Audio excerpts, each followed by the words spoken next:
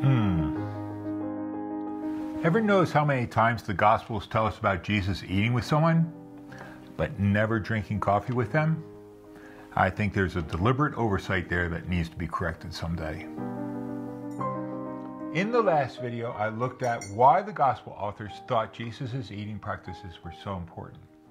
Today, I want to look at the powerful message that who and how Jesus ate sent you're watching the Caffeinated Bible, and my name is David. And the goal of this channel is to take what I've been teaching in seminary and the research I've been doing in graduate institutions for the past 20 or 30 years and bring it to you on YouTube.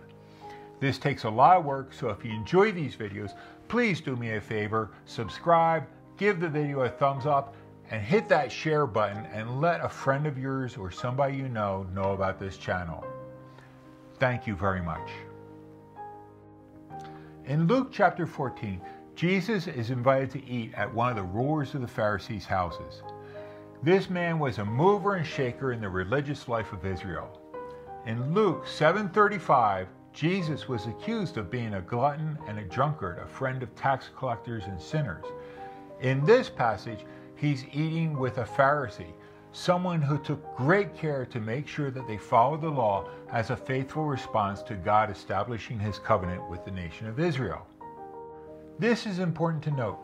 Luke takes great pains to show us Jesus eating and drinking with the most despicable and outcast members of society tax collectors, drunks, prostitutes, and other sinners.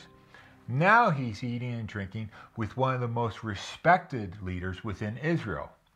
Jesus' eating practices span the spectrum from the respected to the despised, from the poor to the wealthy, from those on the fringes of society to those at the very center of it. And that's where our story today takes place. In chapter 14, verse 1, we are given the setting for the story. It takes place in a Pharisee's house, but also on the Sabbath. Now, this should immediately cause us to remember back to 1310, where Jesus healed in the synagogue on a Sabbath. And these two stories really seem to run parallel to each other. There's a lot of ideas and concepts repeated between the two stories. Then in verse 2, we have a huge gap in the story. We suddenly have this man in front of Jesus. And we're not told how or why this man with hydropikos is suddenly standing in front of Jesus. How did he get in there? Who let him in? Did he ask Jesus to heal him? Luke doesn't tell us any of that. Now, we are told that this man is suffering from hydropikos, that his limbs were filling with water, hydros or hydro, where we get hydroelectric from. Today, we would call this edemia. If you're reading the King James Bible, it would be dropsy. It's usually caused by a deeper and more serious problem heart failure, kidney problems, salt retention, deep vein thrombosis. But during Jesus' day, they didn't know about these other issues. They really saw the symptom as the main issue. And if his condition had progressed very far, he could possibly be oozing fluids right out of his skin. As a result, they would have seen him as unclean. In the ancient world, this disease of edemia, or hydropikos, was seen in a very negative light. Oftentimes, it is caused by a sodium imbalance. So the sufferer is constantly thirsty. They drink more, but then their limbs swell from the fluids. It's almost like they are cursed with a form of gluttony. The more they drink, the worse they are, and this makes them want to drink even more. Jesus then questions them whether it's right to heal on the Sabbath or not, and they seem stuck for an answer. So Jesus heals the man and then uses the analogy that it's lawful to rescue a child or an animal that's fallen into a pit on the Sabbath. So why can't he rescue this man? Again, they remain silent. But the story of the healing of this man sets in motion three dialogues about meals within this chapter. The first one is in verses 7 to 11, the second is in verses 12 to 14, and then the third is the parable of the great feast in 15 to 24. Now, we're just going to take a look at the first two of these interchanges. And if you're wondering about the parable of the great feast in verses 15 through 24, I have a complete video on that parable right up over here. The parable of the great feast in Luke 14. And I'll have a link to it up over here in the video or underneath in the show more section if that's something that interests you. So, at the very start on Jesus' teachings and interchanges about meals, he's already entered into controversy with those present. Now, he is not in direct conflict with them, just that they're not sure or they're not able to reply to his reasoning about healing this man. The thing to keep in mind here is that Jesus and Luke are not using these interchanges to teach us about table manners.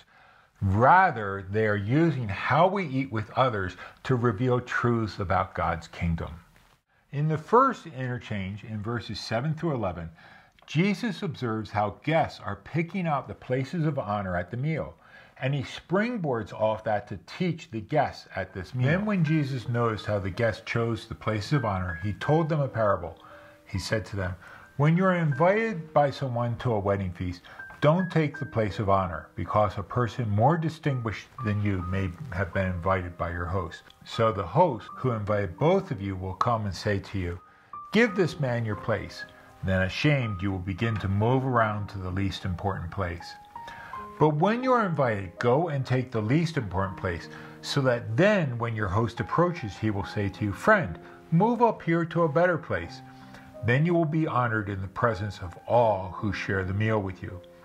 For everyone who exalts himself will be humbled, but the one who humbles himself will be exalted. A meal like this would have been eaten around a triclinium, and some of the best examples that we have preserved today come from the city of Pompeii. They vary quite a bit depending on the room and the house setup, but the basic idea here is that you would have had two or three raised platforms that sloped up in the middle that the guests would have reclined on. Feet would be on the outside, heads facing into the center. The food would have been served on plates or bowls on a table or a platform in the middle of the triclinium. The host usually sat at the very center, sort of the middle of the party. In this story, the guests are picking out the best seats throughout the triclinium. And Luke uses three different nouns to describe the different places here. The most important seat is the protoklisia, or the first place to recline. The host probably took that place. In verse 9, we have a mention of the least important place, the eschaton topos, or the last or the least place.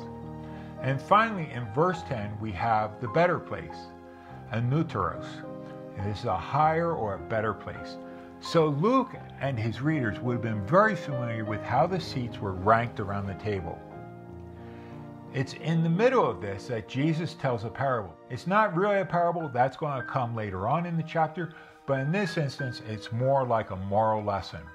And it's based on the idea that the powerful shall be brought down and the humble shall be lifted up, that Mary, Jesus' mother, proclaimed in the Magnificat at the very start of Luke's Gospel, chapter 1, verses 52 and 53. He brought down the mighty from their thrones, and he has lifted up those of lowly position. He has filled the hungry with good things, and he has sent the rich away empty. Jesus summarizes this idea in verse 11, where it says, For everyone who exalts himself will be humbled, but the one who humbles himself shall be exalted. Notice how Jesus directly ties something so mundane as picking out the seats around a table with kingdom values. In verses 7 through 11, Jesus is primarily addressing the guests at the table. In verses 12 through 14, he now turns his attention to the host and offers him some instruction as well. Luke 14 12 through 14 reads, He said to the man who had invited him, When you host a dinner or a banquet, don't invite your friends or your brothers or your relatives or your rich neighbors, so you can be invited by them in return and get repaid. But when you host an elaborate meal, invite the poor, the crippled, the lame, and the blind. Then you will be blessed because they cannot repay you, for you will be repaid at the resurrection of the righteous. And I'm reading from the New English Translation today. Jesus takes the values of the kingdom and applies them to this meal. The host is to invite the poor, sick, and unclean to their meals. These people cannot repay you, and you can't get any reward from them during this life. But God does not allow these things to slide by unnoticed. In the life to come, they will be rewarded for the way they ministered to those who are overlooked in this life. What is really interesting here is that these ideas are not unique to Jesus. Martial, who lived somewhere between 40 and 100 AD, was a scathing satirist. And when talking about being invited to a big or significant meal like Jesus was, he ridiculed his host for how he ranked his guests. Martial writes Since I am asked to dinner, why is it not the same fare served to me as to you? You take oysters fattened in the Lucrine Lake. I suck a mussel through the hole in the shell. You get mushrooms. I take hog funguses. You tackle turbot but I brill. Golden with fat, a turtle dove gorges you with its bloated rump. There is set before me a magpie that has died in its cage. Why do I dine without you, although, Ponticus, I am dining with you? Let me eat the same fare. Pliny the Younger, who lived from around 61 to 113 AD, also criticized how ranking and honor was shown during a meal and he was a governor in northern Turkey, sort of along the coast of the Black Sea today.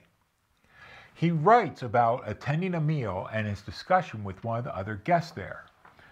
Pliny writes, I happened to be dining with a man, though no particular friend of his, whose elegant economy, as he called it, seemed to me a sort of stingy extravagance. The best dishes were set in front of himself and a select few, and the cheap scraps of food before the rest of the company. He had even put the wine into tiny flasks, divided into three different categories, not with the idea of giving his guests the opportunity of choosing, but to make it impossible for them to refuse what they were given. One lot was intended for himself and us, another for his lesser friends, and all of his friends are graded, and a third for his and our freedmen. My neighbor at the table noticed this and asked me if I approved. I said I did not. So what do you do? he asked. I serve the same to everyone. For when I invite guests, it is for a meal, not to make class distinctions. I have brought them as equals to the same table, and so I give them the same treatment in everything. Even the freedmen?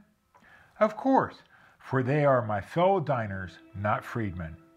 That must cost you a lot. On the contrary. How is that?